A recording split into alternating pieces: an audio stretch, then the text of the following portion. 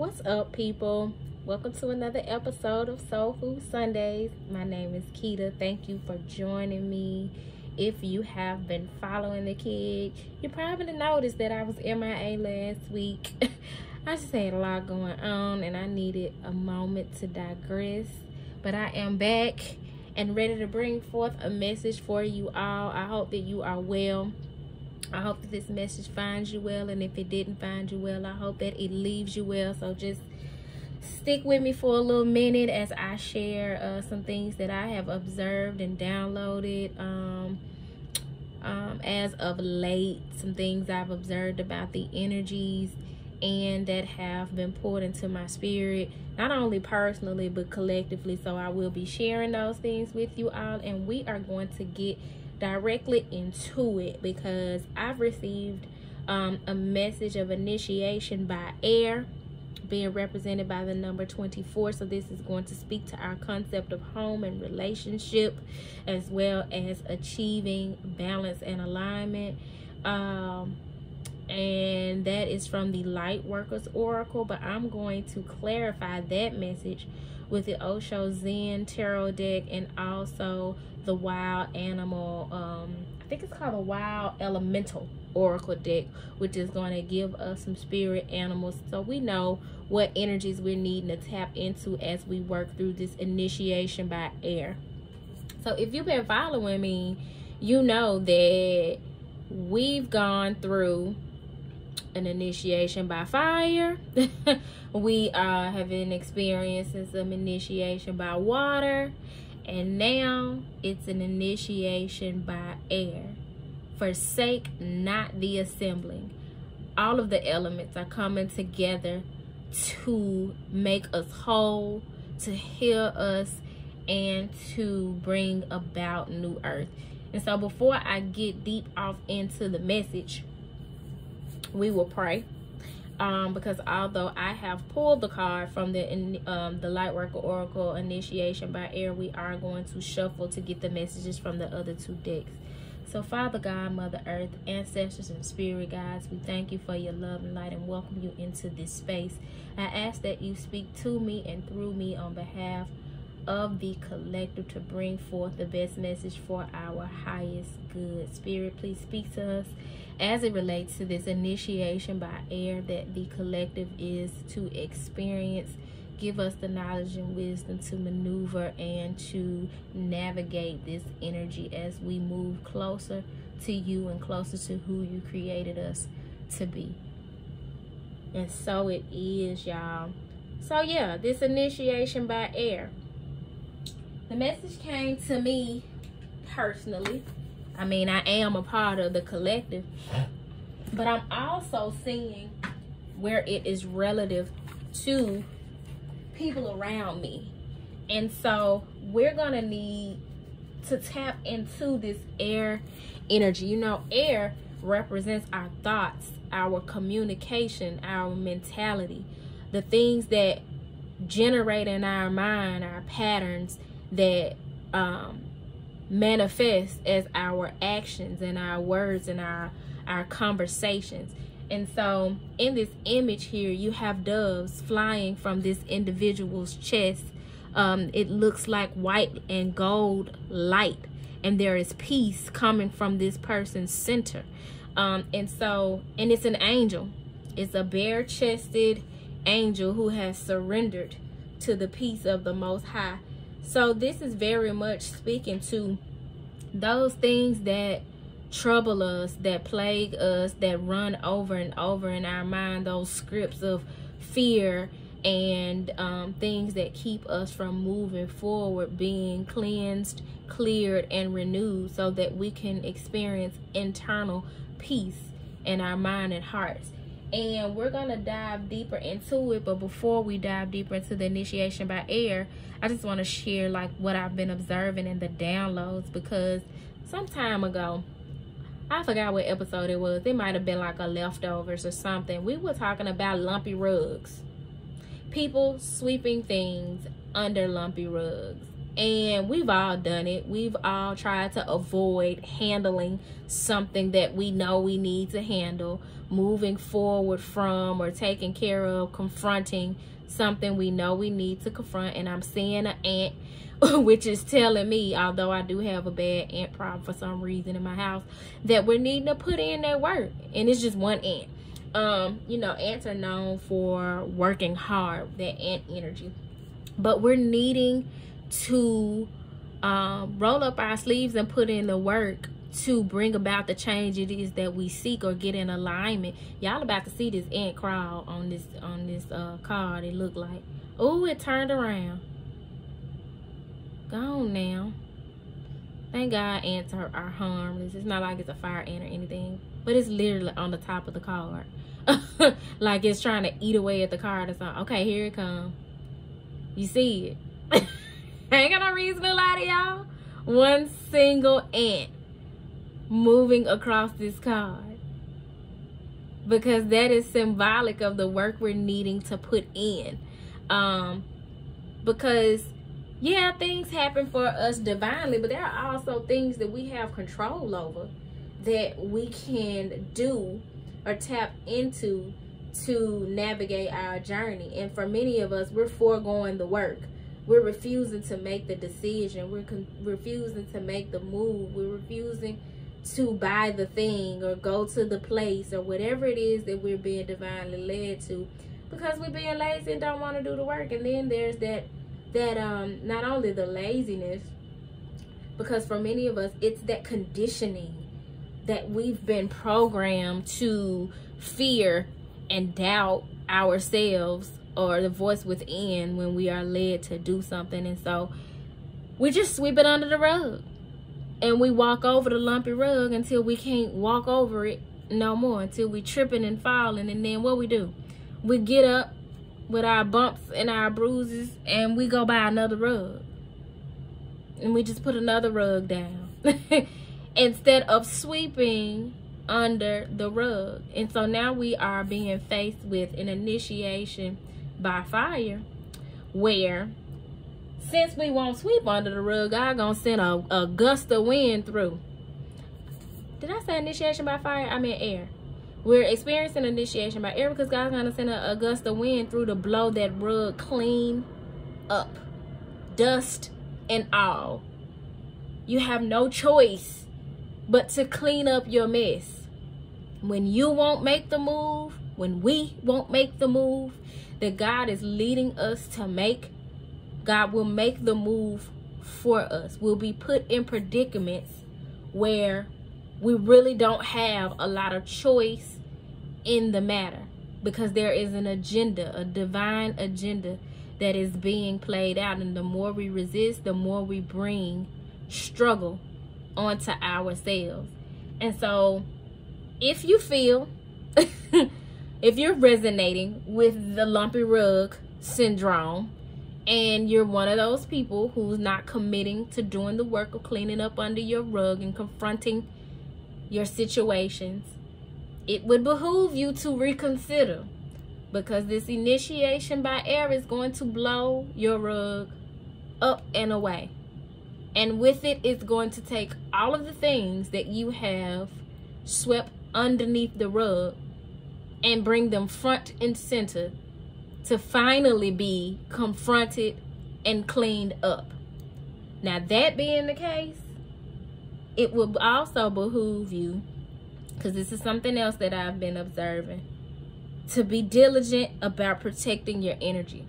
Because as we move through this initiation by air energy, we don't have we can't afford, I was gonna say we don't have time. We can't afford to entertain any distractions, anything that's not in alignment with where we're being led or what is being brought front and center for us to bring our attention to. So by all means, protect your energy. Be indiscriminate about who and what you're protecting your energy against. If it's low vibrational and it ain't yours, let it be. Detach. If it's low vibrational and it is yours, detach. Handle your business.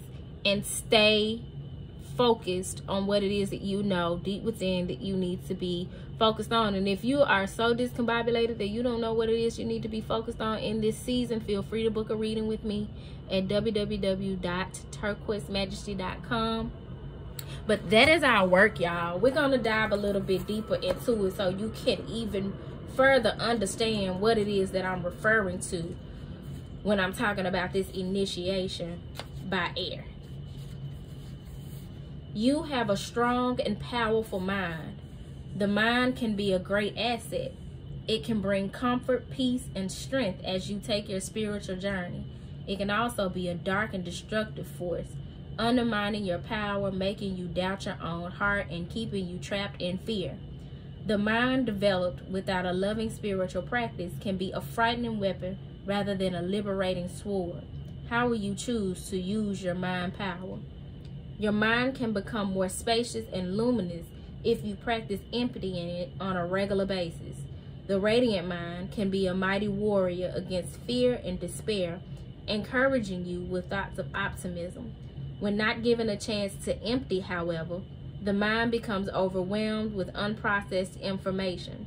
Much of it will be fear-based programming perpetuated by mass media, which is invested in controlling others and manipulating them by fear. This initiation, which liberates and opens the mind, empowers advanced souls to free themselves from manipulation and control. What that tells me before we move forward into this commentary is there is an emphasis on us developing a daily ritual that is something that I am definitely needing to do. The only thing I do on a daily is go to the gym, and I don't do that every day. But that's probably the most consistent practice that I have. Be consistent about how you are centering yourself and emptying your mind. Start over fresh with some form of meditation every day because when you don't, you have that lumpy rug. You have those things that you've consumed from mass media, your experiences, your thoughts from the day before, last week, that you have not processed, and it's all cluttered up in there, and you wonder why. You can't think straight, you can't get nothing done, you're distracted. We have a calling. I like this, my philosophy is all are called and few answer. but if you intend to answer, in order to tend to your calling, you're going to have to, we are going to have to develop a daily practice that keeps our mind clear um, of clutter, sweeping underneath our rugs, and not being influenced by mass media like the tell lie vision. Yeah, because that's all that is. The TV is absolutely designed to perpetuate a narrative that is beneficial to the powers that be and not you. That is why content like this is not broadcast freely on your TV screen. You got to go really looking for it. The things that are going to feed you mind, body, and soul. But it says the hallmark of a dysfunctional society is that the mind is expected to dominate the inclinations of the heart rather than serve it. The mind can be trained to be a great manager, creator, and defender of what has genuine value to the heart but the power to feel what has meaning for us, what moves us enough to rise above our fears and risk growth comes from the heart, not the mind. When the mind is given the task to feel and the heart is told to not feel, paralysis, confusion, and discomfort are experienced. As you enter in this is into this initiation, you will feel the need to step back from what you've been taught and learn to question what you once held to be true. As you disengage from habitual mental patterns, you will begin to observe your thoughts rather than be swept up in them. Soon, you will begin to experience yourself as the peaceful, steady light of love that you are in truth. Will the mind go through its motions? Yes. However, there's no need to be afraid of this. One step at a time, your spirit shall guide your mind back towards peace. You will change the way you relate to your own mind, becoming more empowered. As you soften the strident action of the mind, you will see that you can use your mental gifts wisely rather than allowing them to cause you pain. Those who have strong mental energies can accomplish much in terms of communication, invention, and creativity, but they often also suffer from destructive self talk and mental obsessions. They may even be addicted to thinking, which can wear them out and create cravings of sugar that can lead to depression and illness. Instead, it's much better to regularly take time out from the mind and be in the moment, feeling energized, playful, and at peace. This here, y'all, is a call for mindfulness, for being present and in the moment, and allowing yourself to just play and have fun and stop taking shit so seriously. A lot of what's underneath the rug are things that you've overthought, that you have uh thoughts that you have collected about something that ain't even that deep. Get that stuff out of here, yo. Your mind is a powerful creature. Tame it with persistence, compassion, kindness, and strength. Give yourself rest and an opportunity to switch off and empty your mind as regularly as you can. There's no need to judge or despair. This is, a, this is an advanced initiation and one that is brought to you only when you are ready. Consider it a sign of your spiritual progress. The world will benefit from you as you learn to handle your mental energies more constructively. This oracle is indeed an omen of greater peace and happiness in your imminent future. This initiation by air is a divine gift. It's a blessing coming to help you clear the clutter of your mind so that you can enjoy the present moment, so that you can receive, uh, so that you can formulate new ideas, so that you can chill and not think about anything at all. For many of y'all, you need a vacation. Stop thinking about all the this bill, that bill, this plan, this business, the children, the husband, the dog, what mama doing, what daddy doing, this broke down, that broke down. Clear your mind. There's an invocation for the initiation by air, and I'm going to include it in the um, description box, so check that out. But it says, I call upon the unconditionally loving ones to help me empty and refresh my mind, renewed and eternal love. May I express my freedom in making wise decisions that create joy and love in me and in the world. I ask for divine mercy, compassion, protection, and instruction to assist me in bringing my mind into a loving consciousness. May the light of the divine shine unobstructed through my mind, bringing peace to the world. May the unconditionally loving helpers of humanity help bring light, healing, and joy to the minds of all through my own free will, so be it. Y'all take a load off. take a load off. We are going to clarify the messages coming through by uh, with initiation by air with the Osho Zen Tarot. So Spirit, please clarify the message that we've received from the Lightworkers Oracle. Clarify this initiation by air for the collective spirit. What message do you have for the collective at this time? Oh, that's a lot. but at the bottom of the deck, healing. If not, if I'm not mistaken, this card is equivalent to one of the swords cards. I'm thinking the four of swords, and at the top of the deck, the eight of pentacles, ordinariness because you're needing to move through the day to day. You see this woman, she ain't stressing about nothing, honey. She done already planted the seeds, tended her garden, and now she is enjoying the fruits of her labor. She's put in the work. Now she got her flowers in her basket and she's probably about to go put them in a vase. This is the retired woman, honey, the divorcee, enjoying her land take a load off chill. In this image here where you have healing and you have the solar plexus um looks like the solar plexus chakra there. This person is is healing because they are resting. You're needing a time out to clear your mind and come back to whatever it is that you were so engulfed in. You're probably going to see that it wasn't as serious to begin with or you're probably going to have more clarity about where it is that you're needing to go but you're needing to take a time out a chill pill And if you don't take one, God will give you one when he blow that rug up. You're to stop walking over that lumpy rug. You're to stop buying new rugs to avoid sweeping underneath that lumpy rug. So, the cards that came out, child.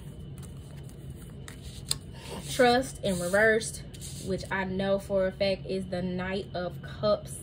It's equivalent to the Knight of Cups in reverse. In this image here, you have an individual who's taking flight. They've jumped. They're just trusting that wherever they are being led to go is where they're meant to go. But when it's in reverse, there's some resistance there.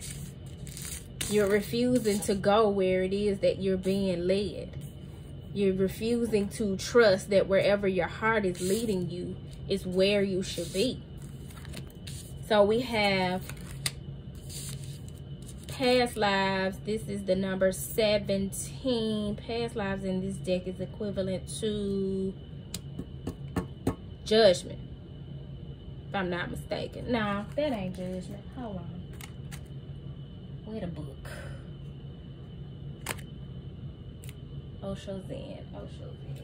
Where is the book?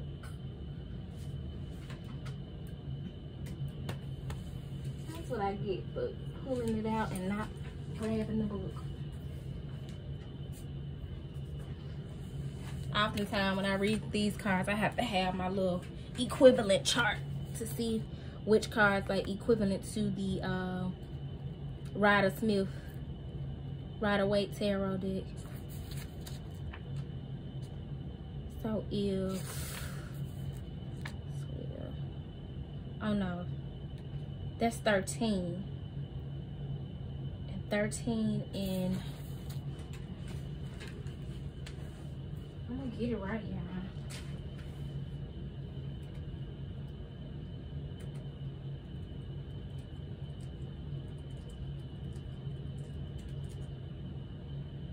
It's death. I thought so. I don't know why I'm sitting here questioning myself. I've been doing this for years at this point. it's the death card. Something is needing to end. A transformation is needing to take place. But it's not able to when you're not trusting that where you're being led is where you should be. There go that end again. Next card being existence. This being the past life card before I skip off, these are fears that are deep-seated within you from a past life. These are patterns that need to be broken. That fear of why you can't move forward because it's deep off in your DNA. It comes from your past lives. It comes from your ancestral line. And you're needing to do the work to heal that through some frequencies, Reiki, whatever it is. You're needing to definitely through Reiki. And We already got this healing card with the Reiki uh, image. so some of you definitely should consider that if you're looking for a healing modality. But you're needing to do the radical self-care so that you can better exist in this lifetime with the magician card here so that you can manifest the life that you desire and put down those burdens as you can see here you gotta, with this existence card that is the equivalent to the magician, this woman is sitting on a leaf and in the cosmos. She knows that all things are possible. She's optimistic and she has hope about her existence and she knows that she's a part of the all, the oneness of the universe. When you are in this state of distrust, you're not trusting the universe to help you make the transformation you're needing to make then you can't enjoy that existence of the all because you're in a low vibrational state. It won't allow you to. That requires being high vibrational in order to tap into that kind of energy that says that I'm a I am attached to the lavish abundance of the most high God, I lack nothing. And until you do, you carry this burden that is the equivalent of is this the six of swords? Whatever the case this card here is um the number six the burden again that's that six energy coming up because something relative to the home something relative to relationship is a burden that you're carrying You're unable to exist. You're unable to experience the possibility, the endless possibilities that these stars represent. You're unable to truly connect with your star family. Um, as this this existence card represents because you're limited. You're limited and you're carrying a burden. But once you're able to tap in to some peace and some quiet, God will show you just how to relieve yourself, to release that burden. You'll get the strength to do just what it is that you need to do. As this number 10 rebirth card is showing us. You got uh uh I don't know if that's a man or a woman, a boy or a girl. But this individual is standing on a lion and the lion is standing on the back of a camel. I'm to read the commentary on that one. That card has always been super interesting to me. Rebirth. This card depicts the evolution of consciousness as it is described by Friedrich Nietzsche in his book, Thus Spake Zarathustra. He speaks of the three levels of camel, lion, and child. The camel is sleepy, dull, self-satisfied. He lives in delusion, thinking he's a mountain peak, but really he's so concerned with others' opinions that he hardly has any energy of his own. He's all in his ego. That camel is striding like, yeah, I'm I'm the man. You know what I'm saying? I'm, I'm he too worried about outward appearance and what he looks like to other people. And emerging from the camel is the lion. When we realize we've been missing life, we start saying no to the demands of others. We move out of the crowd alone and proud, roaring our truth. But this is not the end. Finally, the child emerges, neither acquiescent nor rebellious, but innocent and spontaneous and true to his own being. Whatever the space you're in right now, sleepy and depressed or roaring and rebellious, be aware that it will evolve into something new if you allow it. It is a time of growth and change. For many of you, you are burdened with things that are not yours to carry. And it's time to protect your peace.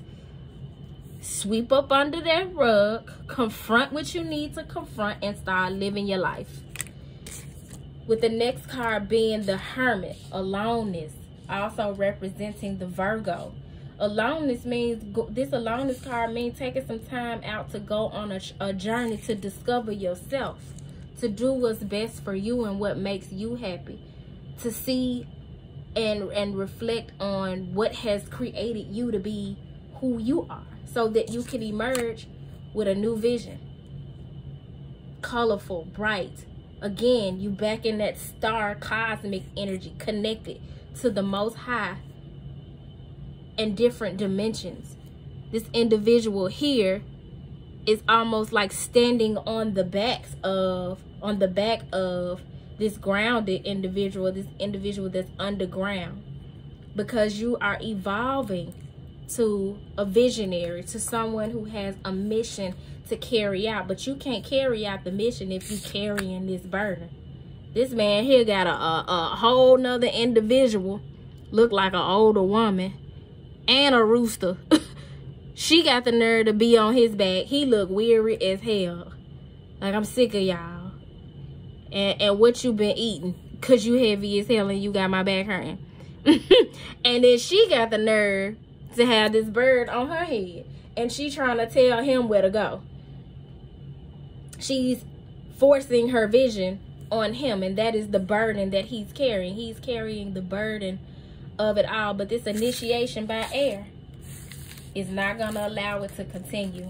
So we're going to tap into this is a good ass message, y'all. I hope if this relates to you that you actually take up the charge. And i just seen 9-11 which is telling me that the message is urgent. It's time. And you're protected. You're protected by archangel michael. You're protected by your angels and ancestors. You're protected by the most high to make the decision that allows you to rest your mind body and soul and stop taking on the burdens of others. So Spirit, please clarify this message. What animal energy are we needed to tap into in order to navigate this energy? Baby, there was a lot of cards about to came out, honey. That was about to be the whole animal kingdom. The eagle. Because we need to see that. Ooh! And the gull. Two birds. Represented by the number 36 with the eagle, which breaks down to a 9 because a cycle is needing to end. And the gull, represented by the number 22, which breaks down to a 4, restoring balance and creating a new foundation. At the top of the deck, we have the flamingo, another bird, number 40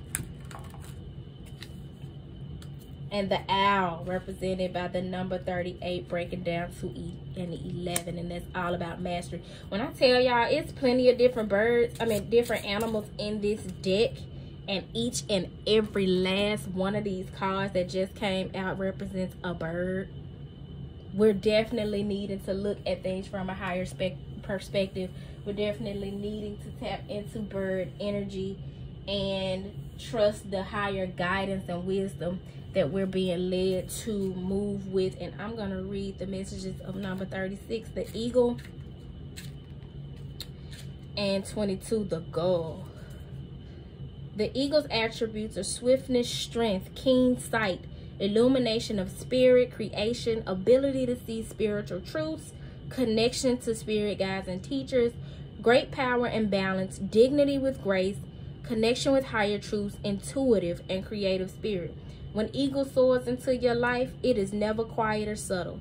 Eagle is assigned to reconnect with your spiritual path. She's showing you the way to the highest of your personal truth.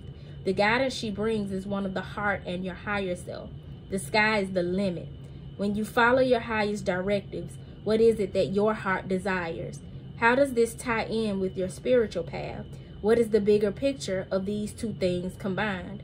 As long as you are open, listen, and allow, Eagle will show you the way. That the sky is the limit. We saw that in those two cards with the stars and, and, and the cosmos.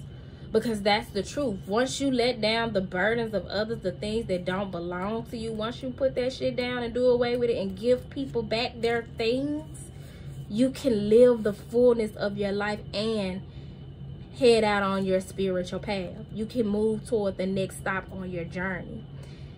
The gull represents water. When you have gulls soaring into your life, you're being asked to look at this situation from a different perspective.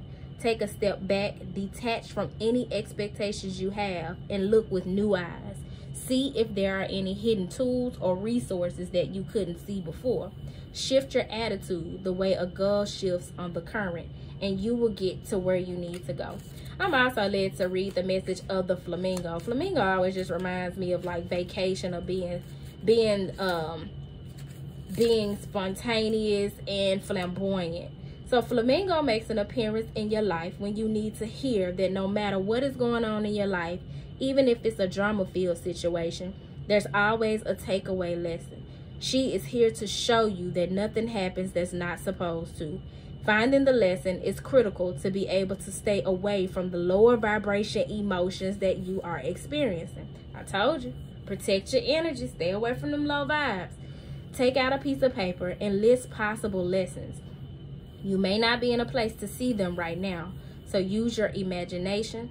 Stuck in traffic and going to be late, perhaps if you were on time, you'd be in an accident. Once you start training yourself to look at situations in this way, life becomes very much less frustrating. And we know that the owl represents the wisdom that we're needing to take from our experiences and move forward. Doubling back to the message of the flamingo and how those delays may come to serve us. I definitely experienced that recently. As many of you know, I went on a trip to Tulum, Mexico that was divinely led. I went to a retreat that was held by Queen by Nature, had a ball. But I ran into all kind of delays on my way there and it was so divinely led because I met someone who I know that I know that I know that I was meant to have a particular conversation with. And I just thank God for knowing that I needed to remain cool, calm, and collected and open to the experience. So I have um I chronicled that experience a bit in the latest episode of Co-Creating. If you have not already checked that out, it's Co-Creating Travel and Wellness, where I had a uh, dynamic conversation with my boo Cicely, also known as Ama the Goddess. She's with Wellness Sanctuary Ghana and Africa.